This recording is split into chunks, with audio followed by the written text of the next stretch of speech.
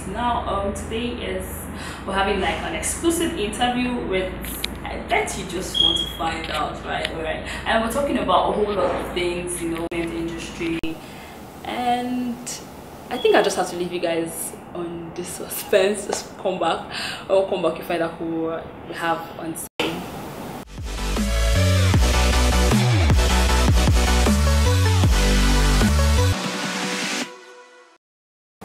welcome back. You know before we went on the break i forgot to tell you my name is Ginika and you know a whole lot has been happening you know from the entertainment world. And we want to find out what and why these things have been happening. I know nigerian entertainment industry have you know we've gotten to that point where we can say oh yes okay when we look back at where we're coming from say yes we've done well. But um have we really done well? Are there still hurdles you know challenges facing us and I have with me today to talk about this.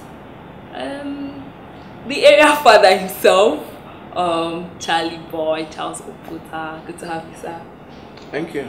All right, sir. So now in the entertainment industry, I know like you, more like you are more like a father, you know, to a whole lot of entertainers. What would you say are the hurdles we've crossed over the years? Because you were there right from time you know, even though you were not probably like in front, but you were there? Yeah, well, in the beginning, there was a lot of stereotyping. There, you know, when when young people would say, "Oh, they want to get into entertainment," parents would feel like, "Oh, that's a waste of your time," yeah. and blah blah blah. They just saw entertainers as a bunch of ragamuffin. Yeah? And uh, musicians at the time, or artists at the time, they they weren't as flamboyant as they were now. And they didn't get the kind of respect that they have now. Okay, I remember my tenure as the FEMA president. Uh, we fought for better respect. We fought for the big money. We fought for intellectual property rights. Yeah. You know, uh, we fought against piracy. So it's it's uh, it's a long way from back then because things uh, we didn't make as much money as the people now the A-list artists are making now yeah? We didn't even make any kind of money you know? So now they have more respect now they have more money and so on and so forth. And now everybody people can do without uh, Naija music. Yeah. yeah. So that's the in thing Okay. So how would you say that the government, in any way, do you think the government has contributed in this growth? The government has not contributed to anything uh, in our lives, uh, the lives of the citizens. Nothing. The government, everything is just uh, uh, self. Anybody who got anywhere, uh, who is making it, right? Just self effort, and that's what I tell young people to always stay focused, stay consistent. Yeah. Be tenacious about what you want and chase your dreams with vigor. Okay. Um, so in the entertainment industry, we know that you know there's still a whole lot of hurdles. You know, they like the entertainers themselves need to you know overcome and conquer. How do you think the government should come in? What kind of hurdles are you talking about? Like we have a whole lot of piracy, and then not giving them the publicity they want, and then restricting them from doing some things. Well, we don't have the monopoly of piracy. I mean, there's piracy even in America. There's piracy in London. There's piracy everywhere, you know. Uh, just like there's corruption everywhere, you know. So, uh, the, uh, the Copyright Society, they're doing something about it. Like I said, you know, government has not helped anybody, so bringing government into anything is a sure way to derail whatever, you know. And uh, but I'm glad that Nigerian artists are beginning to know their rights and know what they should do to protect themselves and their rights. So it's a good thing. Okay, um, you know, judging from the days of Tony Tetuila, Idris Karim, and now we have a whole lot of young artists coming into town and doing things, popping up in the limelight. What would you say like what's like your A, your five top five A list artists at the moment? Mm, there are more than five, um, and all of them they're all good. okay, but you want to tell me like at least five I don't want to tell you anything. to? I don't want to tell you anything. I listen to everybody. You know, I I like when I go on my morning jog. I have my iPod in my ears, and they range from Timaya to to Papa to Burna Boy to P Square to The Bash to just name them. They all contained in my iPod, and I enjoy the music and I play the music.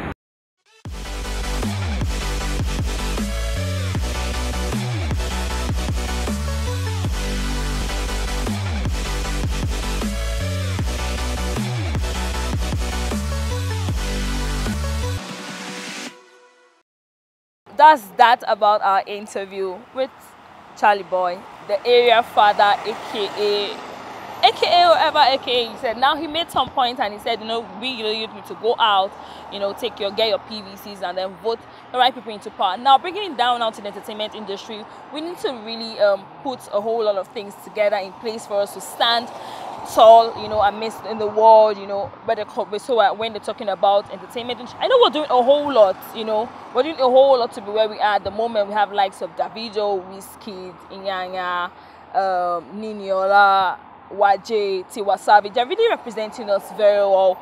But some persons have requested that we go a little bit old school from the early 2000s, 2000s, late 1990s, and the early 2000s. So I'll be giving you our top best three songs from way back. Enjoy.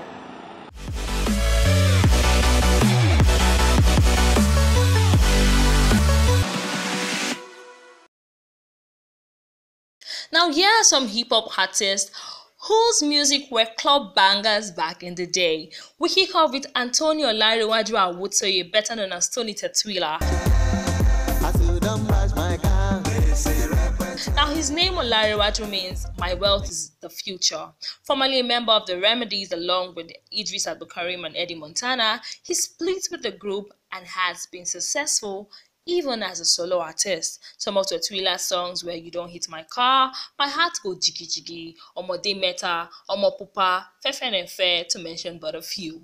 Tony is the last of six in his family and he has always had a passion for music. In 2014, he took time out of music industry to pursue his political career and emerged in the 2014 running as a politician for Kwara State House of Assembly.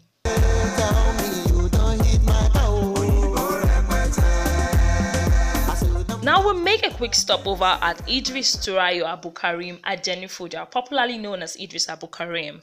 Now he is a Nigerian hip hop artist, songwriter, and singer born into a polygamous family in Kano State. Idris, who started to rap while he was a student, came to limelight after being part of the group Remedies, which includes the likes of Tony Tetuila and Eddie Montana, before they finally went their separate ways, with each taking up a solo career.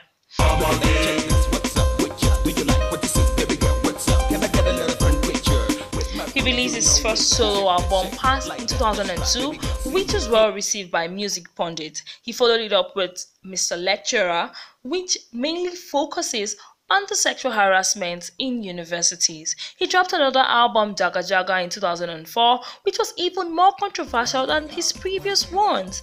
The song was centered on the corruption and suffering in Nigeria, and it was, however, banned on radio and television stations by the president Olusegun Obasanjo.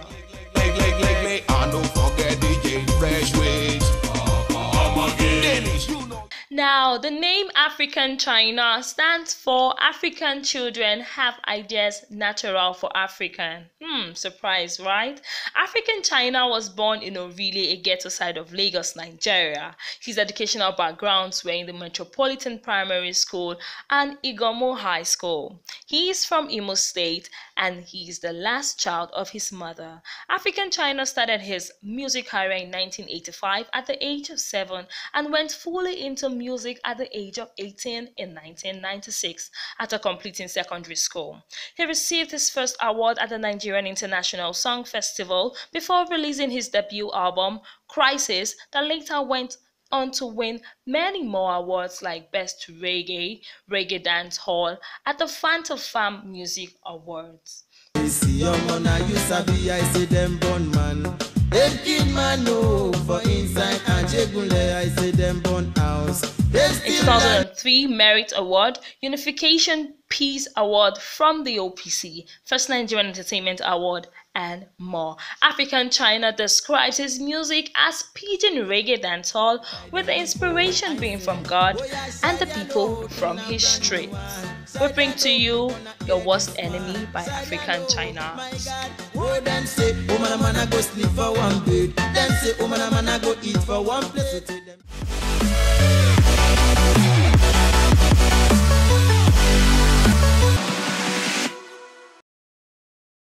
The songs which you just watched right now, I know it reminded you of a whole lot of from way back, you know, for the time of the band, the Why Me, to the um what's that song? Um Tony time, yeah, you don't hit my car or you will like that. Now to Sound Sultan and a whole lot of them. Now the entertainment industry has gone far and we have a whole lot of things to achieve.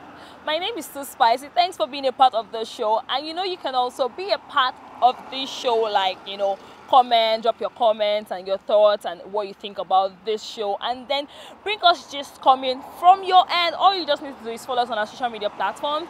That is at TVN for Facebook, Twitter, Instagram.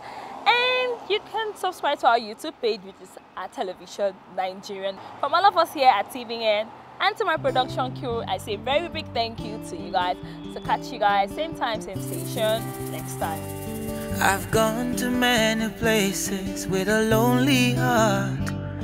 I'm longing for a place where I can be apart. I'm here in my own